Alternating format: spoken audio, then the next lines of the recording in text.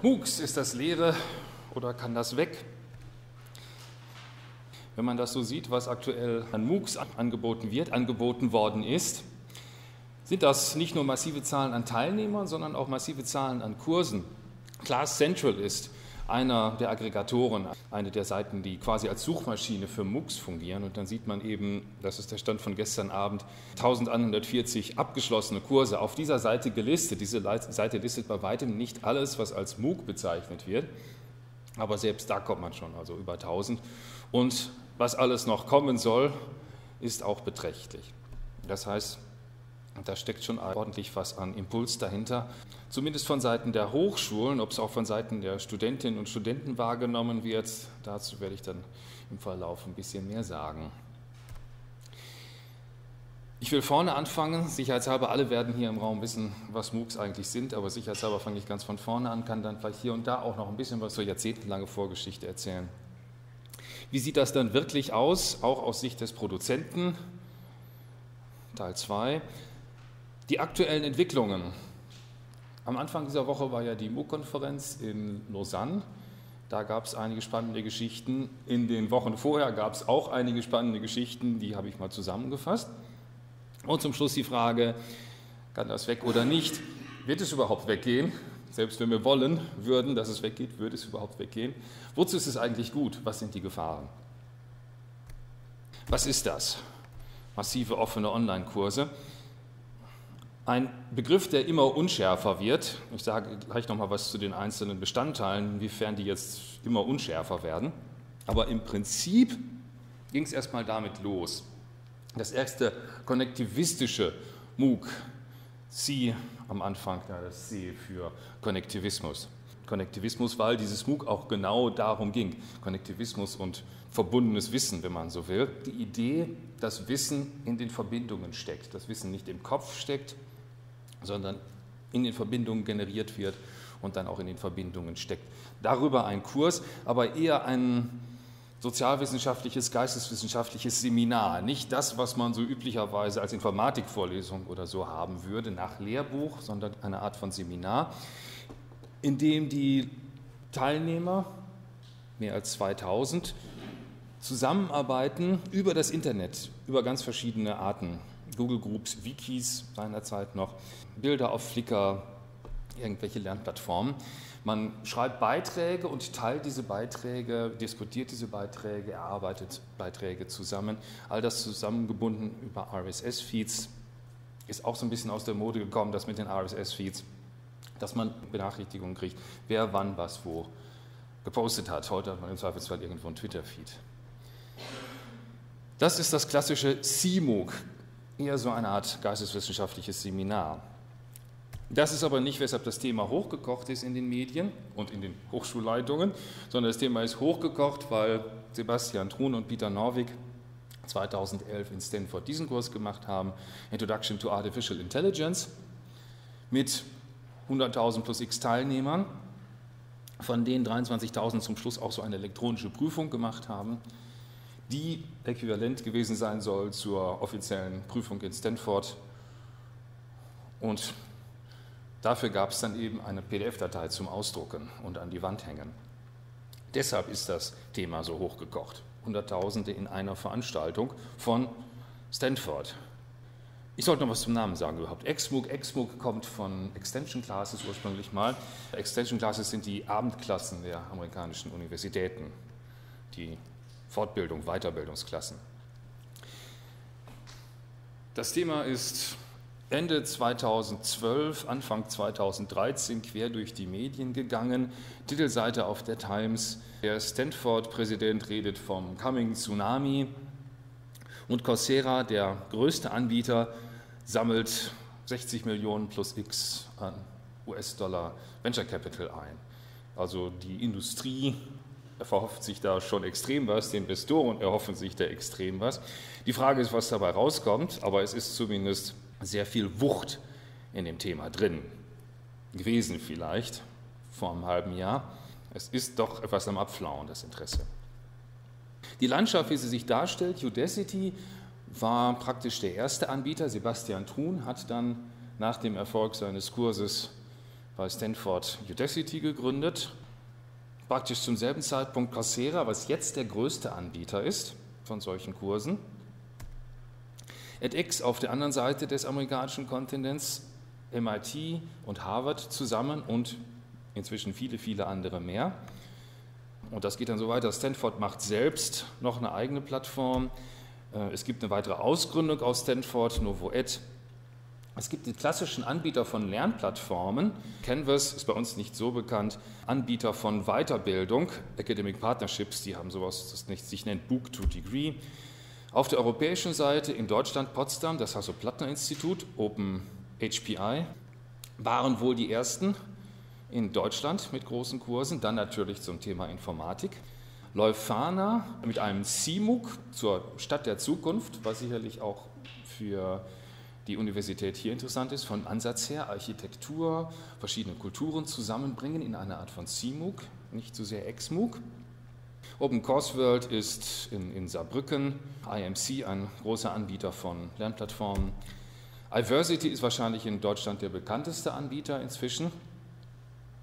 In Großbritannien gibt es von der Open University, also sozusagen von der Fernuni in Großbritannien, von der Open University geführt Future Learn als zentrale Instanz, die quasi staatlicher Art ist. Nicht? Iversity in Deutschland ist ja ein Privatunternehmen. Wir haben in Deutschland irgendwie keinen staatlichen Vertreter an dieser Stelle. Es wird überlegt von den Ministerien im Rahmen von Anführungszeichen intelligenten Bildungsnetzen sowas zu machen, aber das wird dann viel zu spät kommen. Inzwischen hat Iversity, denke ich, die, den Status in Deutschland, den Future Learn in Großbritannien hat, da aber als zentraler, quasi staatlicher Anbieter. In Spanien Portugal ist erstaunlich viel los, was man hier natürlich wegen der Sprachbarriere nicht so unbedingt mitkriegt. Und ich habe Mirada, das ist zwar hauptsächlich von der spanischen Telefonica finanziert, habe ich da bei Südamerika irgendwo einsortiert, weil Spanisch ist natürlich für Südamerika total spannend. Es gibt eine europäische Initiative, die EU ist auch nicht untätig geblieben, Open Up Ed ist eine europäische Initiative. Das ist nicht wirklich eine Institution, die MOOCs produziert, das ist auch sein Aggregator.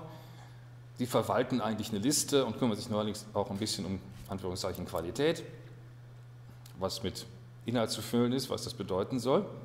Da sind eher Vertreter auch aus den südeuropäischen Ländern drin, plus Israel, plus Russland. Aus Deutschland habe ich da noch nichts gesehen. Australien ist dabei, Open to Study. Das kann ich nicht aussprechen. Das ist Saudi-Arabien.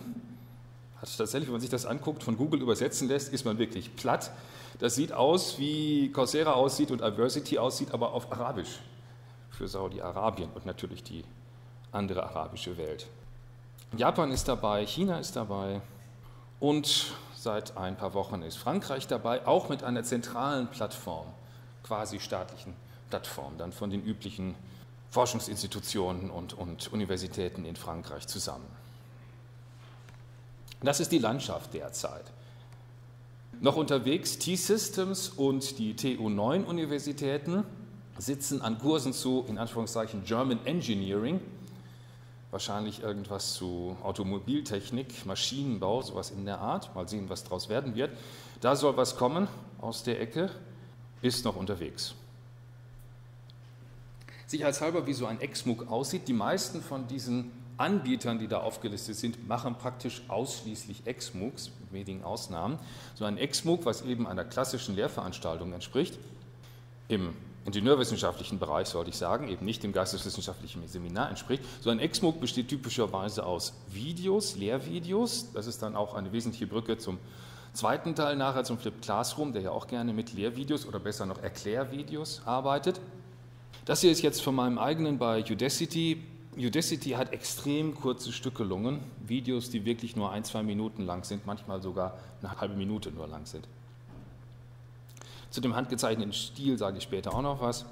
Videos dazu, Quizze, Selbsttests, würde man wahrscheinlich schön auf Deutsch sagen, Selbsttests, mehr oder minder komplizierter Art.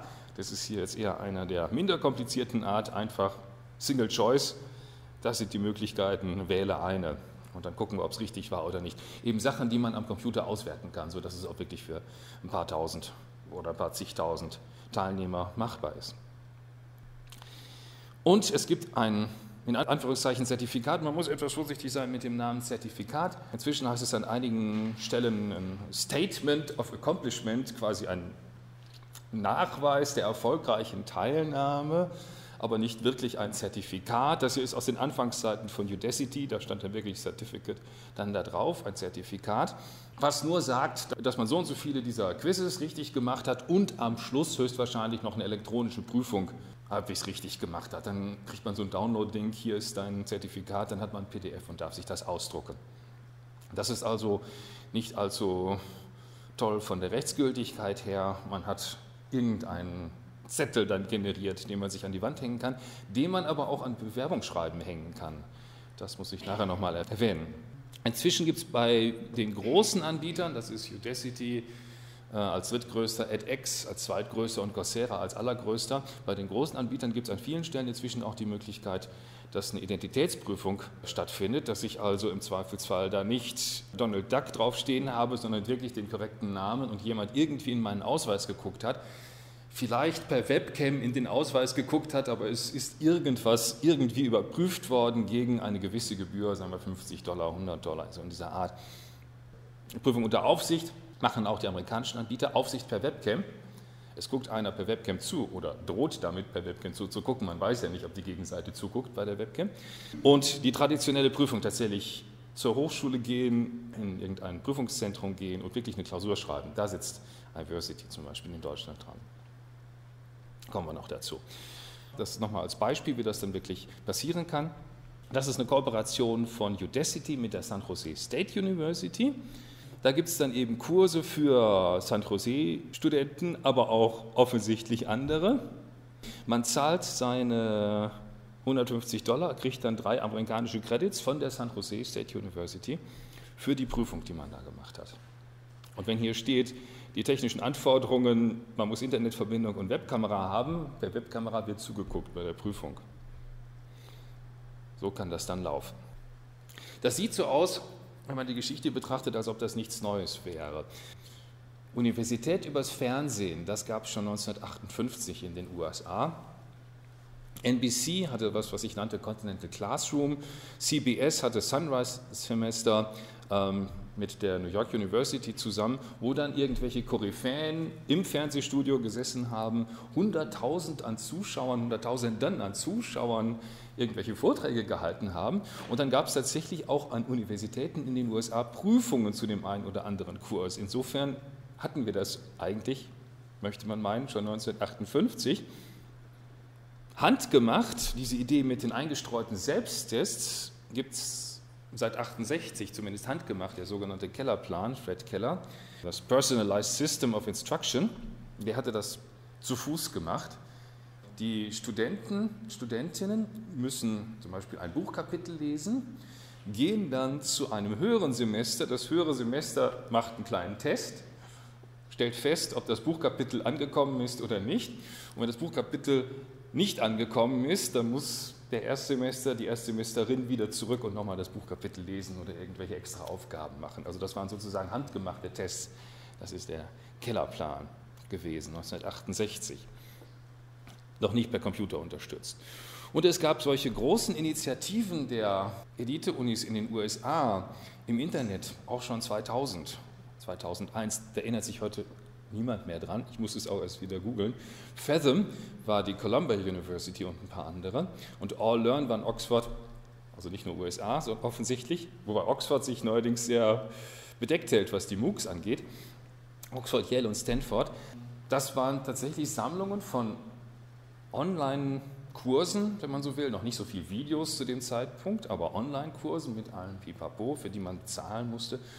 Und die sind sang- und klanglos untergegangen, alle beide, Fathom und Orlean. Millionen an Dollar versenkt an der Stelle. Es gibt aber was Neues. Was neu ist, ist tatsächlich dieses Web 2.0-mäßige. Ein Forum, auf dem sich jetzt Tausende unterhalten können über den Kurs über Fragen dazu, was gut ist, was schlecht ist, was sie nicht verstanden haben. Die Hoffnung ist, einen Netzwerkeffekt zu generieren damit. Wenn ich wirklich 10.000 Leute habe, die am so und so vielten, so und so vielten dieselben Aufgaben bearbeiten müssen, dieselben Aufgaben bearbeiten müssen, dann ist die Hoffnung, dass sie sich gegenseitig betreuen können. Nicht, dass ich da jetzt mit 100 Tutorinnen und Tutoren helfen muss, sondern dass sie sich gegenseitig betreuen. Dass der Arbeitsaufwand an der Stelle geringer wird und dass der Erfolg auch größer wird. Man kann ja auch von Sachen profitieren, dass es Leute aus verschiedenen Nationen gibt, die sich vielleicht gegenseitig was erzählen können über ihre Kulturen. Denken Sie an Architektur, denken Sie an Soziologie. Und man hat solche Effekte wie verschiedene Zeitzonen. Der eine hat seine Frage gestellt und geht dann ins Bett, der nächste steht gerade auf und kann die Frage beantworten. Wenn diese Kurse richtig groß sind, klappt es im Prinzip, eine Frage zu stellen und sie ist binnen weniger Minuten von irgendwem irgendwo auf der Welt beantwortet. Dazu muss natürlich ein Kurs extrem groß sein, damit das funktioniert. Also dieser Netzwerkeffekt ist etwas, das man bisher so nicht hatte, mangels Web 2.0 sozusagen. Aber diesen Netzwerk in Gang zu kriegen, ist halt schwierig. Nochmal zu den einzelnen Bestandteilen. Massiv, was ist eigentlich massiv? Zigtausend Anmeldungen und dann gibt es nachher nur 50 Prüfungen. Ist das eigentlich massiv? Nach bisheriger Bezeichnungsweise würde man ja sagen, das ist ein massiver Kurs. 100 Anmeldungen und 100 Prüfungen wäre dann kein massiver Kurs. Ist schwierig an der Stelle. Was heißt massiv? Noch schwieriger ist dieser Begriff Open. Open heißt eigentlich erstmal nur, jeder darf teilnehmen, man braucht kein Abitur. Open heißt obendrein, wenn ich keinen offiziellen Schein haben will, sondern das Ganze nur zum Spaß mache sozusagen, dann ist es gratis. Aber mehr bedeutet Open an dieser Stelle nicht. Bei einigen Kursen, zum Beispiel die Udacity-Kurse, die Videos der Udacity-Kurse, das sind zumindest die Videos dann unter Creative Commons, aber nur non-commercial. Dasselbe mache ich übrigens auch mit meinen YouTube-Videos, dass die non-commercial sind, nur nutzbar sind, ohne weiteres Nachfragen. TU Delft hat Kurse auf edX zu Umwelt im größeren Rahmen, die sind auch unter dieser Creative Commons-Lizenz, non-commercial. Die ist natürlich nicht wirklich offen in dem Sinne, wie Linux offen ist oder andere Sachen offen sind. Was ist eigentlich mit Kursen mit offener Lizenz? Die gibt es höchst selten. Einige von den CMOOCs haben dann tatsächlich eine wirklich offene Lizenz. Aber die meisten Kurse sind, was Lizenzen angeht, wirklich gedeckelt. Dieses Wort offen ist mit Vorsicht zu genießen.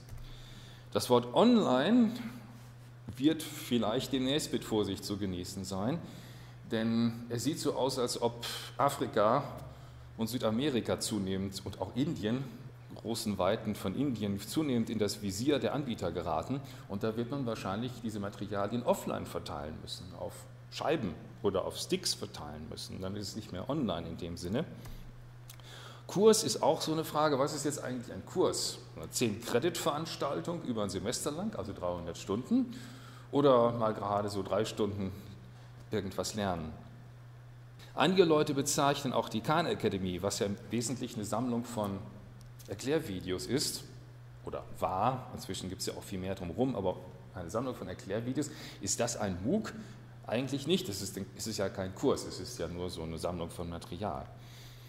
Das geht also extrem durcheinander, was diese Begriffe alles bedeuten sollen. So, das zur Definition. Wie läuft denn das? Planungstechnisch bei mir sah es so aus, Vorgabe von Udacity war, wir wollen sieben Einheiten haben, die so irgendwie einer klassischen Vorlesungswoche entsprechen. Und dann kann man natürlich einfach dran gehen, sich eine Tabelle machen, okay, was will ich an Video haben? Dann soll ein Quiz kommen. Wie lange dauert das Quiz? Dann vielleicht noch ein Quiz. Wie lange dauert das Quiz? Dann will ich was erklären. Wie lange dauert das Video? Dann gibt es wieder eine Aufgabe und so weiter und so weiter. Und zum Schluss sollen vielleicht pro Woche irgendwie sechs, sieben Stunden rauskommen. Wäre einfach ganz geradlinig so dann durchgeplant eben. Was ich obendrein gemacht habe, ist, dass ich für die Udacity-Videos die einzelnen Seiten sozusagen skizziert habe. Jedes Video ist bei Udacity so kurz, dass es praktisch nur eine einzige Seite ist.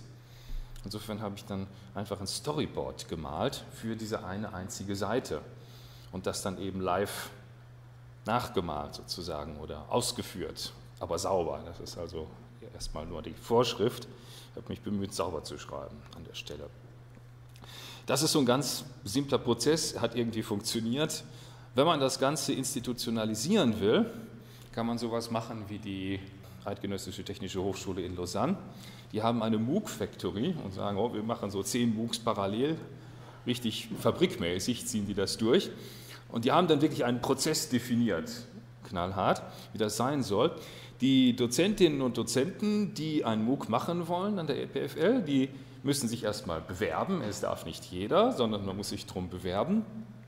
Weit im Vorfeld, acht Monate bevor der Kurs dann wirklich offiziell startet. Und dann geht das in getakteten Schritten weiter. Es werden Prototypen gebaut, die erste Einheit als Prototyp, die werden angeguckt, durchdiskutiert. Man muss ja auch ein Teaser-Video haben, irgendwie so zwei, drei Minuten Werbevideo, warum dieser Kurs so genial ist, dass man jetzt teilnehmen muss. All das wird dann im, in sauberer Planung getaktet dann produziert, offensichtlich, so sieht es zumindest aus, wenn man sich die Planungsdokumente da anguckt. Und dann geht eben irgendwann die Anmeldephase los und irgendwann geht tatsächlich der Betrieb los. Also man kann das Ganze extrem strukturieren und wenn man wirklich das fabrikmäßig machen will, MOOC Factory, wenn man es wirklich fabrikmäßig machen will, kommt man wahrscheinlich noch nicht drum herum, diesen Prozess extrem zu strukturieren. Studiotechnisch kann das so aussehen, das ist das Udacity Studio. Das Studio der EPFL sieht witzigerweise sehr, sehr ähnlich aus. Also ein Wacom-Bildschirm, eine HD-Kamera, obendrauf Beleuchtung, ein Rechner, um die Screenaufnahme zu machen, Mikrofon, ein Urbügelmikrofon und dann geht's los. Das ist das Studio bei Udacity. Diese Kamera von oben, die EPFL macht das auch so, die Kamera von oben ist dafür da, dass man die Hand zeigen kann.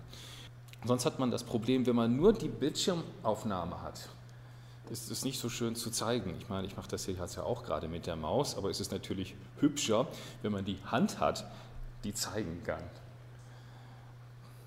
Man sieht zumindest etwas vom Dozenten. Die, bei Udacity sieht man den Dozenten typischerweise gar nicht, das Gesicht gar nicht, nur die Hand. Bei der EPFL ist manchmal das Gesicht dann daneben gestellt noch.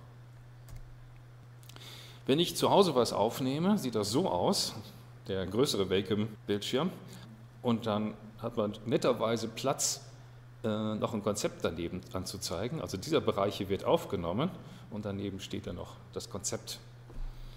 Alles auf einem Bildschirm und dann kann man natürlich noch ein paar andere Bildschirme anschließen, wenn man gerne möchte, aber so ist das relativ komfortabel zu arbeiten. An der Stelle habe ich natürlich keine aufgenommene Hand. Ich habe mal ein bisschen rumexperimentiert. Das ist eine computergrafisch generierte Hand. Man hat ja die Stiftdaten, wo sitzt die Position, wenn man nicht nur die Screenaufnahme macht, sondern wirklich persönlich mit dem Wacom-Tablet redet sozusagen. Von der Software her hat man ja die Positionsdaten. Kann natürlich da jetzt per Computergrafik eine Hand reindichten. Fand ich eine niedliche Idee, mache ich nicht mehr. Es ist irgendwie ein bisschen überkandidelt. Wo geht man dann hin mit seinen Videos? Und seinen Quizzes. Coursera versucht sich ja abzuschotten, das ist wahrscheinlich Teil des Geschäftsmodells, dass man sagt, wir nehmen nur die Besten aus jedem Land. Der Trick ist, wenn man das sagt, kommen dann aus jedem Land auch die Besten und sagen, wir auch, wir auch.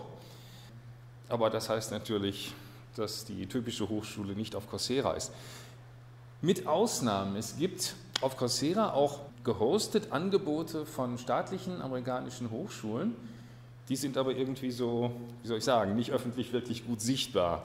Die scheinen irgendeinen, irgendeinen eigenen Bereich gekriegt zu haben. Also die gefeaturten MOOCs auf Coursera sind die Elite-Universitäten. Das heißt, das wird typischerweise keine Wahl sein. edX ist auch eine sehr elitäre Veranstaltung, vor allen Dingen verlangen die anscheinend eine Art Eintrittsgebühr. Es ist ja kein, offiziell kein Unternehmen wie Coursera, edX ist offiziell nicht gewinnorientiert, Insofern muss man da Eintrittsgebühr bezahlen sozusagen. Iversity in Deutschland scheint so zu funktionieren, dass man einfach Bescheid sagt, hallo, ich möchte was machen. Wahrscheinlich läuft dann intern so ein minimaler Qualitätssicherungsprozess bei Iversity, ob der diejenige was machen darf oder nicht, aber dann scheint das einfach so zu funktionieren. MOOC.org soll ein Angebot werden von Google. Das ist die Software von edX auf Google-Servern laufend, für jedermann. Soll, an, soll irgendwann jetzt in den nächsten Monaten rauskommen. Also eine Plattform, die man dann einfach frei nutzen kann, anscheinend, das wird man sehen. Man kann es natürlich auch selber hosten. edX, die Software, die edX hat, die gibt es frei runterladbar. Wenn man jemanden findet, der das Ding installiert und wartet, kann man das auf seinen eigenen Servern hosten. Die Software der Khan Academy gibt es frei runterladbar zum Installieren auf den eigenen Server. Man kann natürlich auch sowas nehmen wie Moodle oder Elias. Die Frage ist, ob die dann irgendwann bei 100.000 Leuten in die Knie gehen, insbesondere wenn dann noch Videos auf dem lokalen Server eingebunden sind. Aber im Prinzip könnte man ein Standard Learning Management System nehmen dafür. Die Kosten, was kostet es eigentlich, sowas zu machen? Wie gesagt, edX will so eine Art Eintrittsgebühr haben, offensichtlich. Das sind die Zahlen, die mal rausgekommen sind aus irgendeinem Vertrag mit edX. Wenn die Hochschule selbst produziert, kriegt edX die ersten 50.000 US-Dollar an Einnahmen, wobei unklar ist, wo denn jetzt die Einnahmen herkommen. Aus Prüfungen, 50.000 US-Dollar, da muss man schon viele Prüfungen machen. Oder man lässt edX das Produzieren, das sieht sehr abschreckend aus. Ich denke, das ist dann einfach nur zur Abschreckung gedacht. Produziert es selber, wir hosten es. Udacity plant, nein, ist falsch gesagt, Udacity hat einen Master gestartet mit Georgia Tech, einen Master, der so aussieht wie die üblichen Udacity-Kurse, online abläuft mit Fernbetreuung mit Georgia Tech. Und dafür soll es das offizielle Georgia Tech-Zertifikat geben. Und auch da sind die Verträge ans Tageslicht gekommen und von daher weiß man, was Udacity an, ansetzt, an Kosten. Also erstmal werden die Professorinnen und Professoren, die die Kurse bauen, bezahlt, 20.000 Dollar an den, die Autorin sozusagen, plus ein bisschen was bei jeder Wiederholung.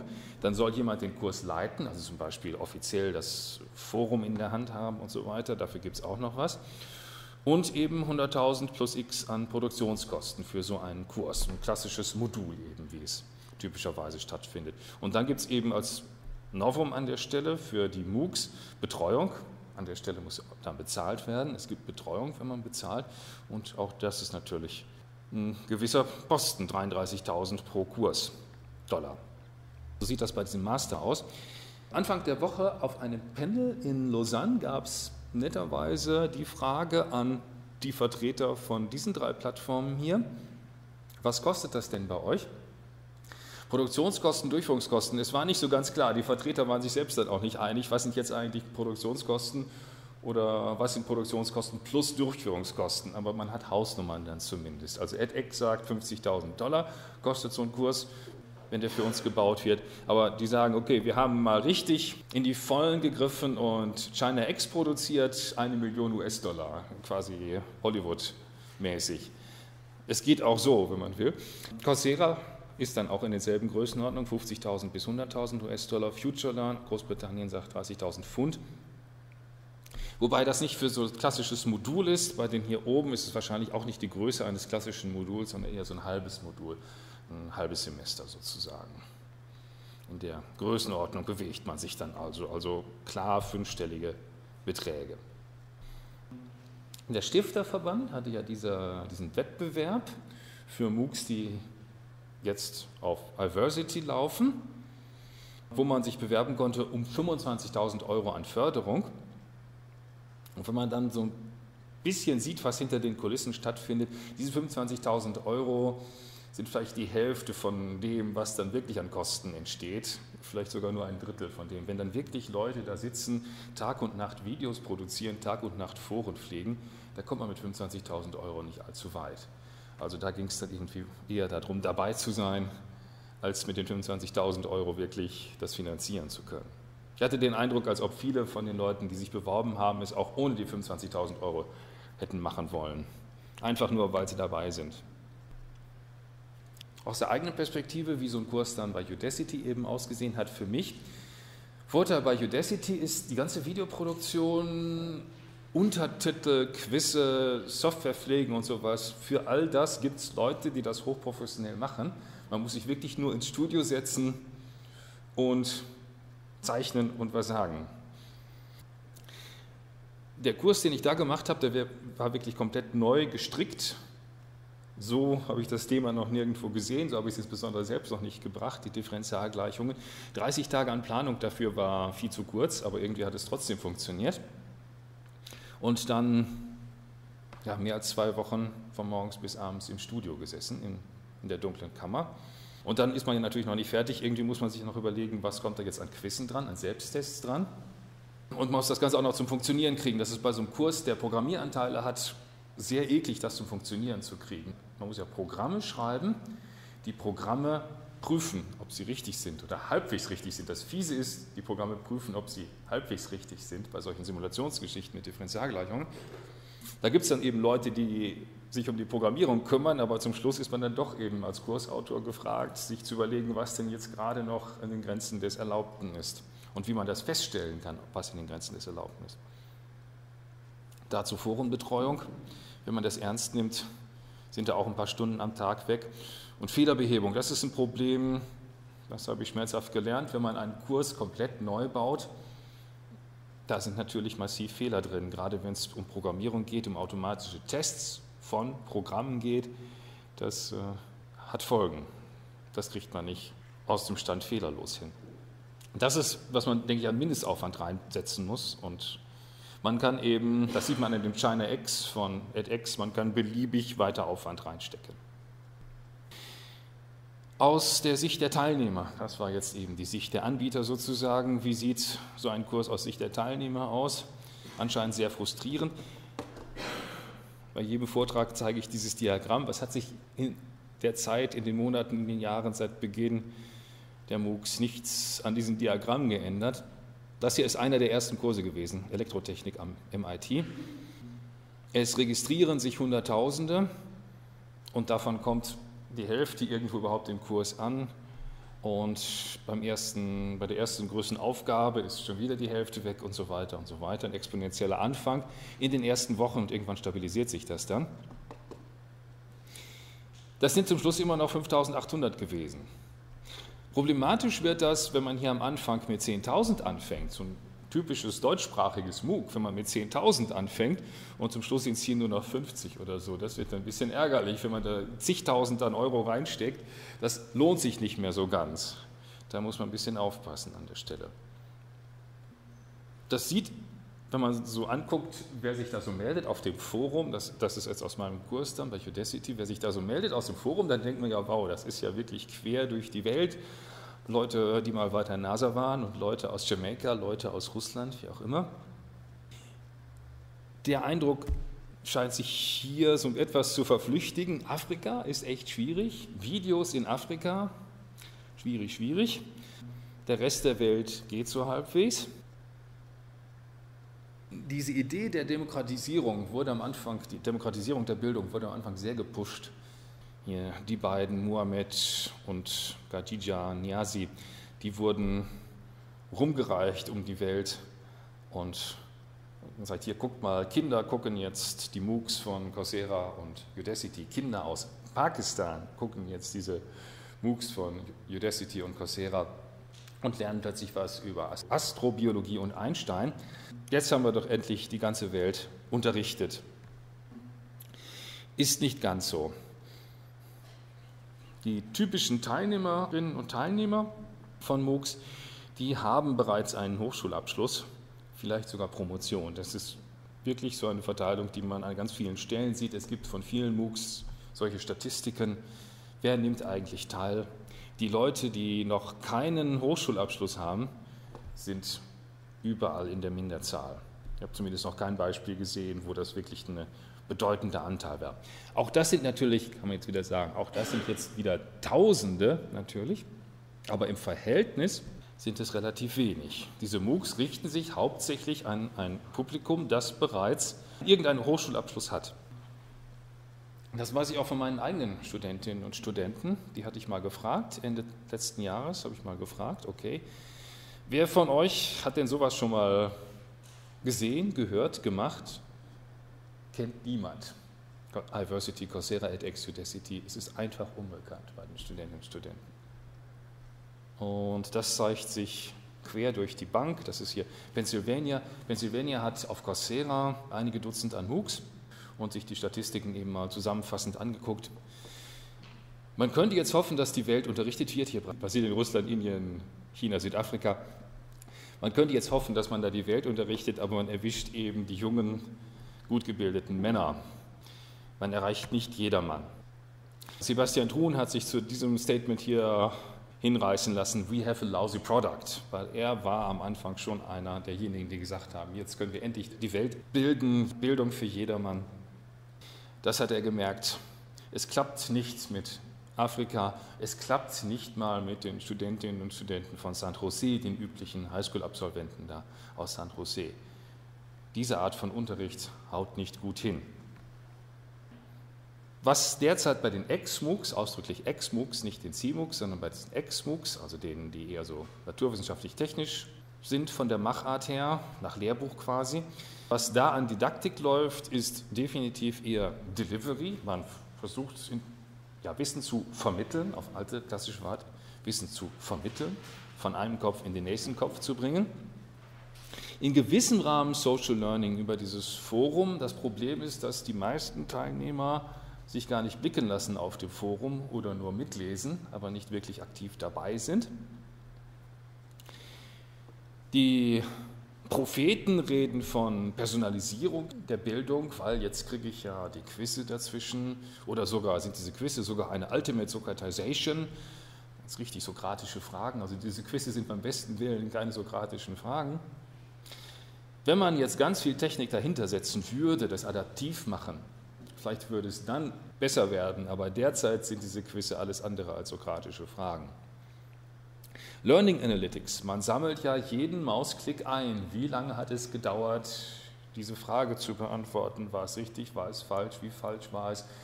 Wie oft wurde dieses Video geguckt und so weiter? Man sammelt ja extrem viele Daten ein. Für jedes MOOC werden da irgendwie Gigabytes an Daten eingesammelt. Die Frage ist, ob man daraus lernen kann kann man diese Daten irgendwie verwenden. Und dann hört man eben zum Beispiel von einigen Anbietern, dass sie sagen, ja, wir haben dasselbe MOOC nochmal gemacht, aber eigentlich haben wir jetzt gar nicht uns die Daten angeguckt, sondern wir haben es einfach normal gemacht. Einige gucken sich wirklich die Daten an. Die Frage ist, ob das wirklich was bringt. Das wird man sehen müssen. Also im Prinzip könnte man, wenn man denselben Kurs nochmal anbietet, natürlich sagen, wir ändern dieses oder jenes, weil Folgendes passiert ist beim ersten Mal. Ich weiß das aus meinem eigenen Kurs, was ich dann an diesen Daten sehe. Man sieht, bei irgendeinem Quiz bricht die Zahl ein, weil das Quiz zu schwierig ist oder zu lang ist. Man sieht, dass irgendwelche Antworten komisch formuliert sind, weil alle Leute die falsche Antwort wählen. Solche Geschichten. Aber ich weiß nicht, ob man aus diesen Daten, Learning Analytics, wie sie ja so schön heißen, ob man aus diesen Daten, diesen Daten wirklich was über das Lernen erfahren kann. Also diese tiefe Deutung ist noch eine andere Geschichte. Was die großen Plattformen machen können, wenn man wirklich Hunderttausende an Teilnehmern hat, was die großen Plattformen machen können, ist natürlich, dass sie jetzt zufällig, echt randomisiert sagen, okay, diesen 50.000 zeigen wir diese Variante des Quizzes oder des Videos und diesen 50.000 zeigen wir eine andere Variante und dann gucken wir nachher, wer besser weiterkommt. Solche Geschichten. Wirklich randomisierte Studien, was man natürlich im, Hörsaal normalerweise niemals machen kann. Hier kann man sie allmählich machen, aber das ist alles gerade erst am Anfang. So sieht es also aus, was bisher läuft. Wo geht es hin? Wir sehen zunehmend MOOCs mit Firmen. Das hier ist von Microsoft gesponsert, Windows 8 App-Entwicklung, ein MOOC, das einem das erklärt. SAP hat seine eigene Plattform. Das Hasso-Plattner-Institut ist ja eng verbandelt mit SAP, um es vorsichtig auszudrücken. SAP hat die Hasso-Plattner-Plattform genommen, HPI-Plattform genommen und macht da jetzt Kurse über SAP. Also plötzlich gibt es Fortbildungen oder sind es auch fast Werbeveranstaltungen von Firmen in dieser Art. Im Zweifelsfall dann sogar zusammen mit Universitäten. An einigen Stellen wird es versucht, das Ganze sogar ohne die Hochschulen zu machen. Udacity hat etwas gegründet, was sich die Open Education Alliance nennt. Wer einen Kurs von Google auf Udacity macht, der braucht ja eigentlich gar kein Hochschulzertifikat dazu. Wenn der nachher zu Google geht und sagt, hier guckt mal, ich habe bei euch sozusagen den Kurs gemacht, dann kann Google einfach sagen, okay, akzeptieren wir. Und genauso die ganzen anderen. Autodesk hat einen Kurs über Computergrafik. Nvidia hat auch was Computergrafisches oder Hochleistungsrechnungsmäßiges. 23andMe hat irgendwas mit Biotechnologie und so weiter. Die brauchen gar kein Hochschulzertifikat mehr an der Stelle. Ich mache das Zertifikat bei der Firma sozusagen, bei der ich später arbeiten will. Und dann gibt es andere Schiene, zum Beispiel auf LinkedIn, die Möglichkeit einfach dann anzuzeigen, auf dem persönlichen Profil anzuzeigen, ich habe folgende 20 Kurse gemacht, dass sie dann zum Beispiel mit Coursera zusammenarbeiten und dass Coursera wirklich auch die Verbindung prüft, dass das auch wirklich Kurse sind, die man da gemacht hat. Dann brauche ich gar kein Zeugnis mehr irgendeiner Universität. Das wird direkt auf mein Social Network übertragen. Badges, dass ich irgendwelche Abzeichen habe an der Stelle. Endorsements auch bei LinkedIn, dass ich anderen Leuten bestätigen kann, ja, diese Person hat Ahnung von Mensch-Maschine-Schnittstellen oder diese Person hat Ahnung von Computergrafik, dass man sich gegenseitig quasi Zeugnisse ausstellt, ohne eine Institution. Andere aktuelle Baustelle, das neue Geschäftsmodell von Udacity, den hatte ich schon erwähnt, den Master von Udacity mit Georgia Tech. Man kriegt Fernbetreuung, quasi aus einem Callcenter von Tutorinnen und Tutoren kriegt man Fernbetreuung, wenn man sie haben will, und muss dafür zahlen. Beim Master zahlt man dann insgesamt 7000 Dollar, Master, Informatik Master, dann bei Georgia Tech. 7000 Dollar ist ein absolutes Schnäppchen. Es soll gleichwertig sein zum herkömmlichen äh, Georgia Tech Master. Und daneben hat Udacity Courses, da zahlt man irgendwas an 100 Dollar pro Monat und kann sich dann mit seinen Online-Tutoren darüber unterhalten, ob man dieses Projekt jetzt eher so baut oder doch eher so. Und wenn man Fragen hat, kann man die auch anmelden gegen seinen Monatsobolus. Und zum Schluss macht man dann irgendeine Prüfung.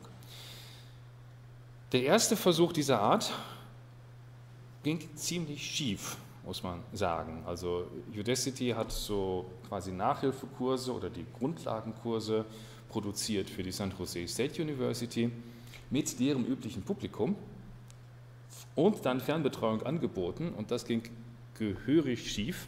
Die Bestehensquote ist rapide gesunken von 65 auf 25 Prozent. Aber Trick, man lässt dann eben nicht die üblichen Studentinnen und Studenten zu, die an der San Jose State University studieren, man lässt alle zu, also die ganzen Bachelors und Masters und Doktores, die auch sonst immer bei den MOOCs teilnehmen und dann hat man wieder eine saubere Bestehensquote bei seinen MOOCs. Also das ist das neue Geschäftsmodell von Udacity, bezahlte Fernbetreuung. Andere Basis, das ist eher was breiter passiert, der Flipped Classroom MOOCs als quasi Lehrbücher, Flipped Classroom mit MOOCs. Die Studentinnen und Studenten sollen sich das MOOC angucken, die Aufgaben lösen, mitmachen bei dem MOOC und man bietet lokal Veranstaltungen dazu an. Ist schon etwas länger im Schwung. Hier sehen Sie 10. April 2013, November 2012. edX-Kurse an Community Colleges, also quasi Berufskollegs und edX-Kurse an der San Jose State University. Die benutzen die dann als Grundlage zum Flipping. Kurse, die lokal an der Universität dann betreut werden. Man macht elektronisch mit und hat eine lokale Betreuung. Im Zweifelsfall natürlich nicht mehr Professorin oder Professor, sondern Tutoren oder irgendein Teaching Assistant.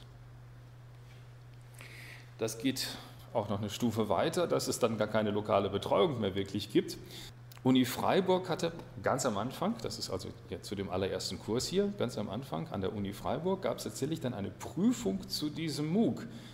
Nach dem Motto, ach, ihr guckt euch das MOOC an, ihr macht da alle mit und wir machen hier die Prüfung dazu. Ganz offiziell. Kommt dazu irgendeinem Zeitpunkt in den Hörsaal, bringt Blatt Papier mit und Taschenrechner, keine Ahnung, und dann gibt es eine richtige Klausur dazu. Und dann habt ihr eine ordentliche Prüfung. Das war in Absprache mit es gibt aber auch Leute, die sowas dann ohne Absprache gemacht haben anscheinend. Das hier war ein Kurs von Coursera und da wurde dann einfach in Helsinki eine Prüfung zu dem Kurs von Coursera angeboten. Ihr guckt euch das MOOC an und wir machen die Klausur. Kein Problem. Inzwischen wird das alles ein bisschen kritischer gesehen, wenn man da genauer reinguckt in die Lizenzbedingungen und in, in das, was man, wofür man Scheine geben darf. Aber hier, hier war echt wilder Westen am Anfang. Anrechnung im Studium ist insofern das neue spannende Thema. Geht das eigentlich, was da mal so in Helsinki zum Beispiel gemacht worden ist? Dürfen wir das eigentlich so machen oder ist das irgendwie schwierig?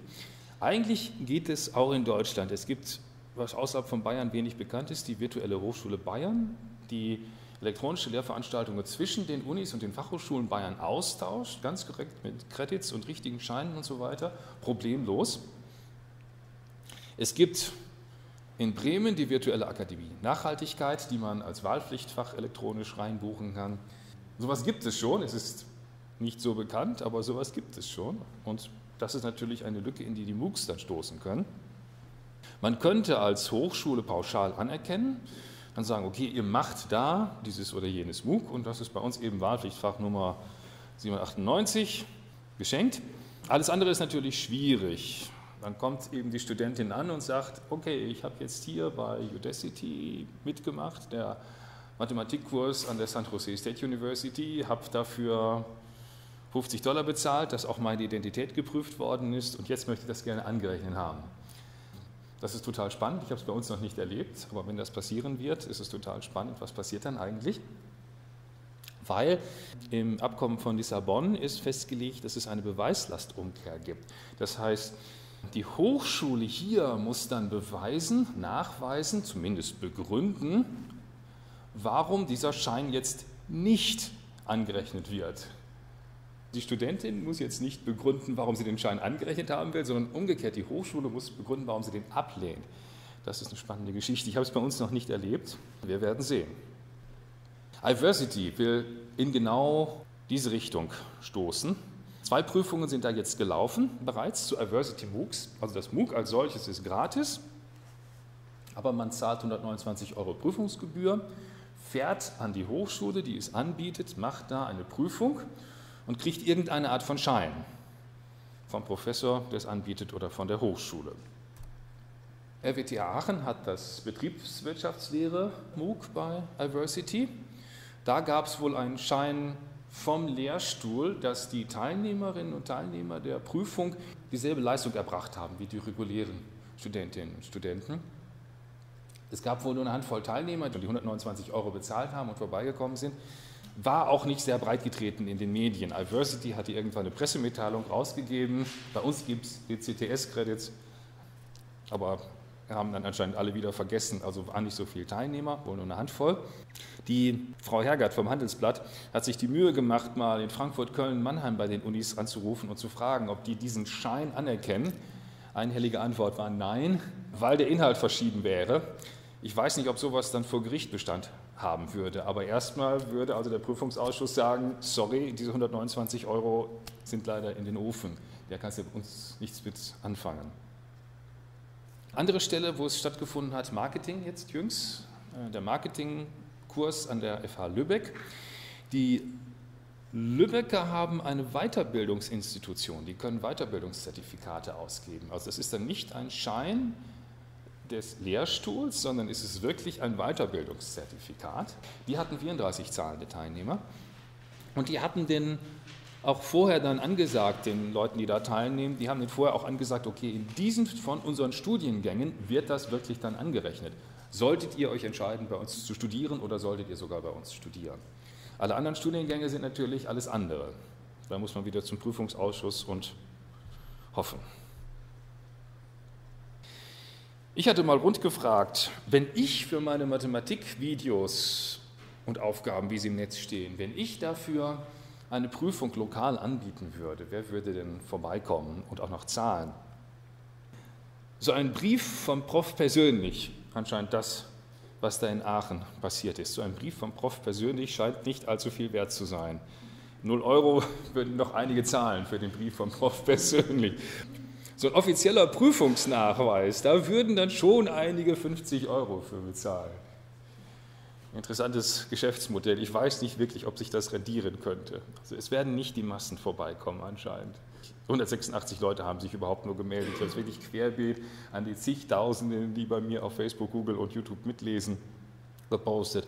186 Leute haben sich nur gemeldet. Also es scheint kein Massenmarkt zu werden und es ist auch nicht sehr einträglich anscheinend.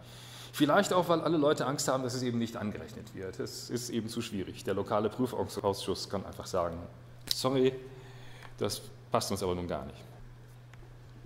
Einige Leute versuchen, diese Vielfalt an Nutzungen zu unterstützen. Ich habe eben die, die abfallende Kurve gezeigt. Am Anfang melden sich viele an, das erste Video guckt nur noch die Hälfte und so weiter und so weiter. Kann man da irgendwas tun, um das abzufangen? Ich fange mal hier von unten an. Können wir einen MOOC als Nachschlagewerk haben? Dass es nicht nur ein Kurs ist, sondern auch irgendwie ein Nachschlagewerk, was dann irgendwie kreuz und quer genutzt werden kann. Wäre Möglichkeit zu sagen, okay, es ist nur zum Mitlesen. Wenn sowieso die Hälfte niemals auf dem Forum ist, dass wir sagen, okay, meldet euch anders an, dann wissen wir, ihr wollt nur mitlesen, ihr wollt nicht wirklich auf dem Forum mitarbeiten. Die beiden hier oben sind noch eine spannende Entscheidung. Bei Udacity sind die meisten Kurse self-paced. Man fängt irgendwann an, hört irgendwann auf. Und wenn man sich zwischendurch was beibringen muss oder wenn man zwischendurch Verwandte zu versorgen hat, kein Problem, dann nimmt man eben einen Monat Auszeit ohne Deadlines. Die meisten Kurse, die aller, allermeisten Kurse sind mit Deadline. Die fangen am so und so vielten, so und so vielten an und hören am so und so vielten, so und so viel auf. Getaktete Kurse.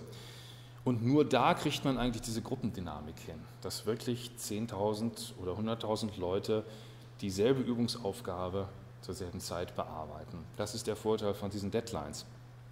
Das sehe ich bei meinem Udacity-Kurs ohne Deadlines. Der plätschert da eben seit fast anderthalb Jahren rum. Das Forum ist mehr oder minder tot, weil keiner erwartet, dass da jetzt irgendwo noch eine Antwort kommt von irgendeinem. Das ist ein echtes Problem bei diesen Self-Paced-Kursen. Also sie sind sehr freundlich und sehr entspannt, weil ich sie beliebig ausdehnen kann, aber diese Diskussion ist nicht mehr da. Je spannender diese MOOCs werden, aus kommerzieller Sicht, umso mehr tauchen die Rechtsanwälte auf. Urheberrecht hat ganz viele Aspekte da drin. Wo Sie auf der lokalen Lernplattform vielleicht noch irgendwelche Materialien benutzen dürfen, noch solange die Ausnahmeregelung im Urheberrechtsgesetz drin steht, ist natürlich in der großen Öffentlichkeit Feierabend. Ich kann nicht irgendeinen Textabsatz da reinnehmen, ich kann nicht ein Bild, eine Tabelle oder sowas in das MOOC reinnehmen, ohne dass ich die Genehmigung habe oder ohne dass zufällig diese Tabelle wirklich gemeinfrei ist, irgendwie was wie CC BY oder so eine Lizenz alles sehr schwierig. Das heißt, man muss sehr vorsichtig sein mit den Materialien, die man da, Fremdmaterialien, die das zeigt. Was ich eben gezeigt habe, dass Helsinki so ein Coursera-MOOC unterstützt, ist auch sehr kritisch. Die Nutzungsbedingungen von Coursera schließen ausdrücklich aus, dass man diese MOOCs belegt, um Credits zu erwerben. Man darf sie als Spaßvergnügen belegen, dann sind sie gratis, aber wenn man damit Credits erwerben will mit den Coursera MOOCs, dann braucht man eine Genehmigung. Also auch diese Offenheit ist da ein Problem. Die ist nämlich nicht wirklich, die sind nicht wirklich offen, die meisten MOOCs. Bei der MOOC-Produktion, wenn ich so ein Team habe, Dozentin, Videoschnitt, dann macht jemand die Quizze, jemand kümmert sich um den ganzen Aufbau. Wem gehört das Ding jetzt eigentlich? Ich weiß es nicht. Das muss, muss man wahrscheinlich irgendwie dann vertraglich festlegen und es ergibt sich arbeitsrechtlich auf jeden Fall alles sehr heikel. Beiträge von Teilnehmern. Wenn jetzt, ein, wenn jetzt ein Teilnehmer eine Seite Erklärung schreibt, das habe ich bei mir häufiger gesehen, dass wirklich dass da so lange Beiträge kommen, das war im Video vielleicht ein bisschen kurz, hier kommt jetzt eine richtige Erklärung. Wem gehört eigentlich dieser Beitrag? Datenschutz wird heiß diskutiert, wenn man nicht einfach nur als deutsche Universität sagt, ach, wir schicken unseren Kram an Coursera und dann läuft es offiziell in den USA. Wenn man sagt, unsere lokalen Studentinnen und Studenten haben das zu belegen, dann wird das heikel. Dann dürfen die Daten nicht in die USA gehen, nicht direkt zumindest. Dann gibt es solche Gedanken, okay, in Dublin gibt es 1000 Data Centers, dann speichern wir die Daten eben irgendwo in Dublin und nicht in den USA. Oder wir, bauen irgendeine Firma auf in Deutschland, die diese Daten speichert. Darf Diversity diese Daten speichern für normale eingeschriebene Studenten Studentinnen? Muss man sich nochmal genauer angucken. Oder muss es irgendwie anonymisiert werden, dass im Forum dann eben nur der Teilnehmer XYZ 30798 postet und nicht Egon Müller postet im Forum. Datenschutz auch noch in der anderen Richtung. Die Beiträge von Teilnehmern. Wenn ich da eine Frage stelle auf dem Forum, ist 2 plus 2 nicht 5? Und diese Frage bleibt für alle Ewigkeit da stehen ist vielleicht auch ein bisschen ungeschickt. Was ist mit Löschung? Aber ich kann es ja auch gar nicht löschen. Inzwischen ist Google durchgegangen und hat es indiziert oder wie auch immer. Was ist mit Datenschutz, was die Beiträge von Teilnehmern angeht? Vielleicht möchte ich das in ein paar Jahren gar nicht mehr sehen, was ich da mal gepostet habe. Akkreditierung habe ich gelernt, diese Woche bei der EMUX-Konferenz in, in Lausanne. Also es ist nicht automatisch mit so einem Studiengang dann auch ein MOOC akkreditiert. Die Europäische Union denkt sich da anscheinend gerade sehr viele Sachen aus, was man da alles noch prüfen könnte. Und dann gibt es elend viel Kleinkram an solchen rechtlichen Geschichten. Sobald eine Hochschule privatrechtliche Verträge schließt, also nicht normal den Studienbetrieb macht, sondern privatrechtliche Verträge schließt, zum Beispiel, wir machen mal eine Prüfung für irgendein MOOC, dann macht sie eigentlich genehmigungspflichtigen Fernunterricht. So würde ich das zumindest verstehen und brauche eine Zulassung dafür. Sendegenehmigung. Wenn man eine bestimmte Zahl an Teilnehmern überschreitet, die man da live erreichen könnte nach Sendeplan, braucht man plötzlich eine Sendegenehmigung. Das ist wirklich was total Antikes. Barrierefreiheit für die Hochschulen, wenn ich offiziell was verpflichtend anbiete. Was ist denn jetzt mit Untertiteln? Was ist mit Videozusammenfassungen? Sind die Quizze auch für Blinde zugänglich? Und so weiter und so fort. Wenn man das alles berücksichtigen wird, dann wird es teuer werden. Aus Sicht der Kapazitätsverordnung, wenn eine Lehreinheit Luft hat, MOOCs zu bauen, dann darf sie, glaube ich, keinen Numerus Clausus mehr haben, zumindest aus meinem Rechtsgefühl heraus, weil wenn diese Arbeit da reingesteckt werden kann, dann kann ich nicht plötzlich irgendwelche Zugangsbeschränkungen für irgendwelche Studiengänge veranstalten. Da muss man sicherlich aufpassen. Wie wird überhaupt die MOOC-Produktion angerechnet auf die Semesterwochenstunden eines Professors, einer Professorin? Umgekehrt auch von der Nutzung. Was passiert, zum Beispiel bei den Betriebswirtschaftlern, wenn da jetzt nicht mehr 500 Leute im Hörsaal sitzen, sondern nur noch 100 Leute im Hörsaal sitzen, müsste man das jetzt berücksichtigen in der Kapazitätsrechnung? Und aus Sicht der Professoren, Professorinnen, Nebentätigkeit, das habe ich jetzt auch gerade in Lausanne gelernt. Lausanne verbietet seinen Dozentinnen und Dozenten Udacity-Kurse zu machen. Die sagen ganz einfach, diese Nebentätigkeit wird nicht genehmigt. Bücher schreiben ist okay, aber MOOCs irgendwo machen geht nicht. Spannende Geschichte. Ich habe das vor zwei Jahren noch so locker als Nebentätigkeit durchgekriegt. Da wusste noch keiner, was das ist und was es werden wird, aber das wird anscheinend kritischer gesehen inzwischen. Dann das weg, Chancen und Risiken. Diese Digitalisierung könnte Vorteile haben, dass ich Sachen wiederverwende. Wenn irgendjemand den Begriff der Ableitung in der Mathematik ordentlich erklärt hat, dann bräuchte man das ja eigentlich nicht nochmal 20 Mal zu machen, sondern könnten das überall verwenden. Das, was es schon gibt, könnte man anpassen an seine eigenen Bedarfe. Man könnte zusammenarbeiten und sagen, okay, du erklärst das Vektorprodukt, ich erkläre das Skalarprodukt und dann haben wir zusammen was. Man könnte über die Jahre verbessern. Gucken, da, da ist ein Fehler drin oder dieses ginge besser, dieses Quiz ist ein bisschen komisch, All das könnte man machen. Das Problem ist, sobald Kommerz da reinkommt und Wettbewerb auch zwischen den Hochschulen wird ja gefördert staatlicherseits, der Wettbewerb zwischen den Hochschulen. Sobald das da reinkommt, haben wir ein kleines Problem, dass dann das alles abgeblockt wird. Man könnte sich bei den MOOCs auf das Lernenswerte besinnen. Warum geht es eigentlich in der Hochschulbildung? Geht es darum, irgendwelche Rechenschritte auswendig zu wissen oder geht es darum, recherchieren zu können? Geht es darum, mit Leuten zusammenzuarbeiten? Und wie macht man das am besten? Wie vermittelt man das am besten? Aber was derzeit ja eher passiert ist, dass man sagt, okay, es gibt so eine klassische Vorlesung, die nehmen wir eins zu eins, filmen die ab und dann kommen da noch ein paar Quizze rein, muss wohl sein, also kommen da noch Quizze rein und zack haben wir einen MOOC. Damit wird diese klassische Form festgeschrieben und dass man darüber nachdenkt, was man da eigentlich veranstaltet. Am Anfang war der Gedanke Bildung, Ausbildung für jedermann. Man sucht sich irgendwas zusammen, Cafeteria, und stellt sich selbst was zusammen. Aber das hat natürlich einen Preis ich sitze nicht mehr im Klassenverband und ich habe nicht eine persönliche Unterstützung. Bei den 500 Leuten in der Betriebswirtschaftslehre habe ich auch nicht im Zweifelsfall die persönliche Unterstützung, aber an vielen Stellen gibt es ja tatsächlich noch persönliche Unterstützung an der Hochschule. All das geht über Bord bei diesen MOOCs. Und im schlimmsten Fall kommt es dann dahin, ich muss nicht nur drei unbezahlte Praktika machen, ich muss auch noch fünf MOOCs mir selbst antun, übers Wochenende überhaupt eine Chance zu haben, einen Job zu kriegen. Wenn alle Leute MOOCs belegen, kann ich nicht der Einzige sein, der keine MOOCs belegt. Also muss auch ich dann so und so viele MOOCs belegen und diese Zertifikate, auch wenn sie eigentlich nichts wert sind rechtlicherseits, diese Zertifikate an meinen Lebenslauf dranhängen, an meine ganzen anderen Zeugnisse dranhängen. Hat man inzwischen zum Beispiel bei der Hochschulzulassung in den USA Wenn jemand schon ein paar MOOCs von dieser Hochschule besucht hat, belegt hat, wird er bei der Hochschulzulassung besser gerankt als jemand, der das nicht gemacht hat. Also plötzlich kommt ein Zwang, diese Kurse zu belegen. Wir haben so eine Entbündelung.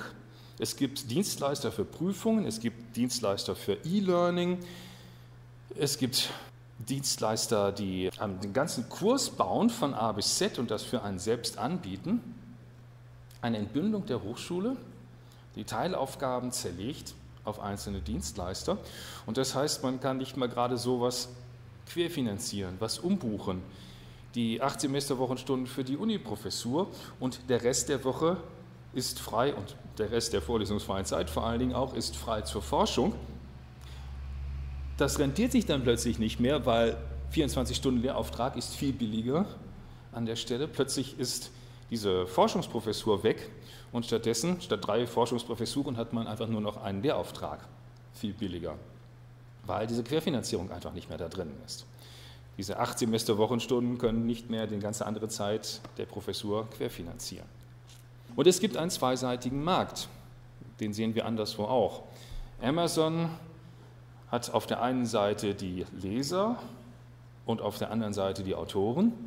Apple hat die ganzen iPhone-Besitzer auf der einen Seite und auf der anderen Seite die Autoren von Apps und auch noch die ganzen Musiker obendrein. Und Aldi hat die Lebensmittelproduzenten auf der einen Seite und die normalen Konsumenten auf der anderen Seite. Zweiseitige Märkte mit sehr mächtigen Leuten, die in der Mitte sind und das Geschehen bestimmen. Wenn Apple sagt, dieser Track kostet 95 Cent, dann kostet er 95 Cent. Und wenn Aldi sagt, diese Milch kostet, keine Ahnung, 50 Cent, dann kostet die eben 50 Cent. Und sowas ähnlich sehen wir dann eben höchstwahrscheinlich auch mit Coursera. Vielleicht auch ein bisschen mit edX, aber Coursera ist derzeit dieser zentrale Knoten an der Stelle. Also es gibt dann eine Instanz außerhalb der Hochschulwelt, eine kommerzielle Instanz, die plötzlich stark eingreift in das, was da passiert. Und was ich sehr bedenklich finde, damit möchte ich auch schließen, was ich sehr bedenklich finde, ist, dass wir die ganze Zeit über Berufsqualifizierung nachdenken. Und wenn es um Akkreditierung geht, Qualitätslabel von der EU und so weiter, da geht es an allen Stellen um Berufsqualifizierung. Sehr eng, mit ganz vielen Scheuklappen um Berufsqualifizierung, finde ich sehr gefährlich, weil Hochschulbildung sollte weit darüber hinausgehen, gerade ohne Scheuklappen funktionieren. Dieses Zitat von Steve Jobs finde ich da sehr erleuchtend. Because I dropped out, I decided to take a calligraphy class. It was beautiful, historical, artistically subtle in a way that science can't capture and I found it fascinating. Man stelle sich vor, wenn Steve Jobs jetzt diesen Kurs nicht besucht hätte, das war überhaupt nicht berufsqualifizierend, das passte überhaupt nicht in das, was er vielleicht hätte machen sollen und so weiter, überhaupt nicht berufsqualifizierend, aber man stelle sich vor, er hätte diesen Kurs nicht besucht.